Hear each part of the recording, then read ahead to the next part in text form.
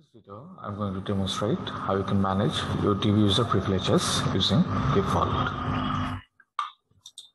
So one of the way is by using a custom resource definition called secret access request.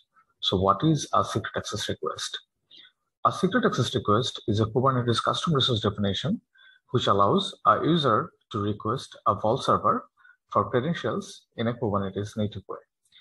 A secret access request can be created under various different roles. For example, AWS role, GCP role, Elasticsearch role, MongoDB role, etc. A secret access request has three different phases, waiting for approval, approved, or denied. If a secret access request is approved, then the KubeVault operator will issue credentials and create Kubernetes secrets containing those credentials. The secret name will be specified in the status.secret.name field. And once a secret access request is approved, it cannot be denied. And a denied phase will automatically change to waiting for approval if any changes in secret access request.spec is made by the user.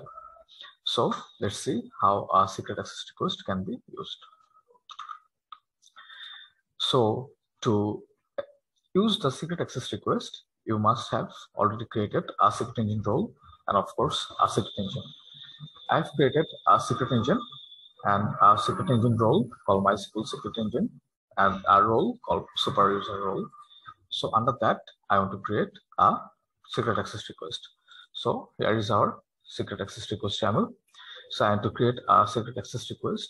I have provided the kind here and provided the name and the namespace and the role that I want to use to create this request. And subject is the user that will have the permission to read this particular secret. So let's apply the secret access request channel.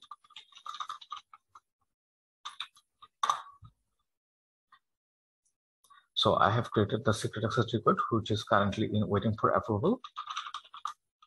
Now, if I approve the secret access request using the default CLI, let's see what happens.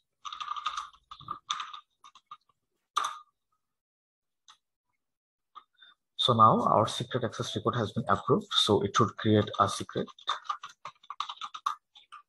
in the same namespaces.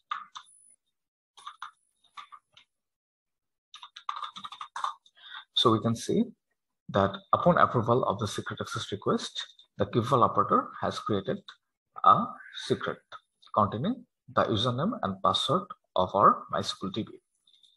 So let's try to log into the MySQL DB using those credentials to check if they're valid or not.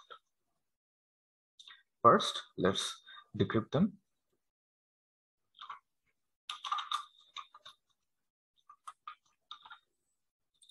So here's our password. Let's also decrypt our username. Now let's exit into the MySQL DB pod. Let's log into MySQL DB using the username and the password.